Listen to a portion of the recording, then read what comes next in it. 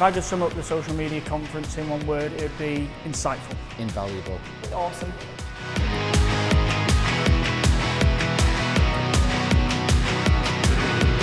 Social media is all about standing out above the noise and I think that's what this conference does.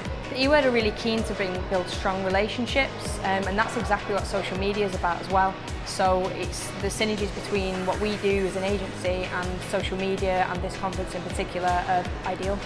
The calibre of attendees and delegates here are incredible and this is an amazing conference to be associated with and with it being the first one it was something that the eWord just couldn't refuse to be involved with. So I kind of had two hats uh, coming here as a company. We've taken uh, away some new contacts, had some really interesting conversations with, with potential clients and uh, candidates as well around social media.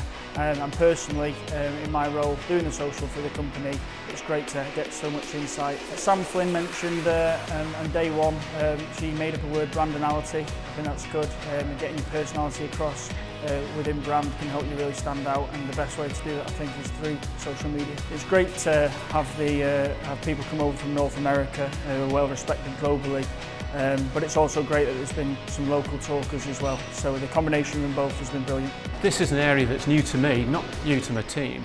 Uh, but they tell me that this is going to be a gathering of people we have to be seen by.